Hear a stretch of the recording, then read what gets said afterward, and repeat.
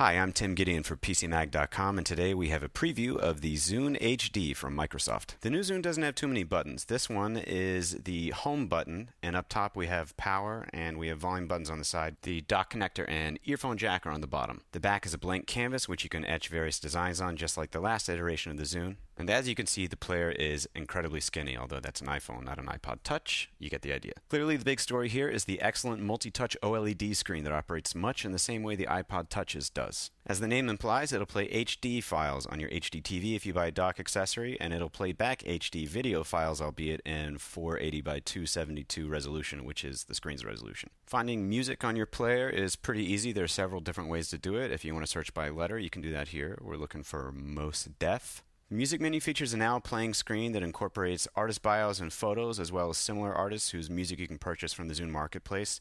It's interactive and fun, it looks great, and it's not unlike the Genius feature in iTunes in that it suggests music and then asks you to buy it.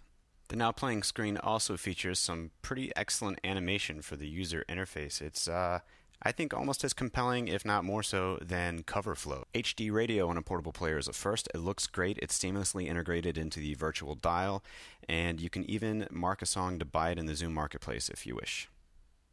The way you organize, search for, and view photos is excellent, and this footage is sort of self explanatory.